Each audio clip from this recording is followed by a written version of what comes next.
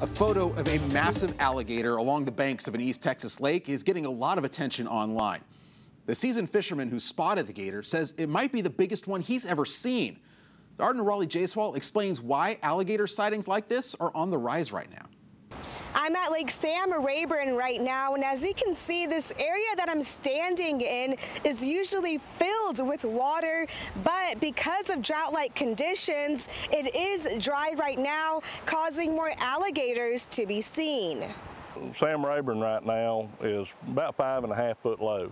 So there's a whole lot more shoreline and a lot less cover for these animals to be in as they move from from shore to water. Over the weekend, fisherman Keith Combs was out catching some bait when he spotted this alligator on the shore. I've fished on that lake um, for, gosh, 30 years, and I've never seen one even close to that big.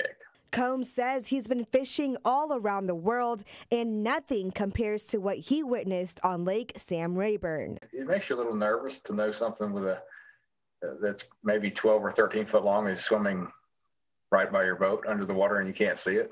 Experts say the best thing to do when you see an alligator is nothing at all. They don't necessarily like to be around people a lot. I just appreciate them from afar and uh, like that and let them do their thing and, and uh, you do yours. The worst thing you can do. When we start running into alligators is when we've had people that have started feeding that alligator and got that alligator used to people. And workers at the Caldwell Zoo agree. You never want to feed an alligator. That's usually what gets uh, people and alligators in trouble. And if there is a situation where public safety is involved, we would have to come out and evaluate and to try to determine whether or not that alligator was a threat and then figure out what the proper course to remove that alligator was.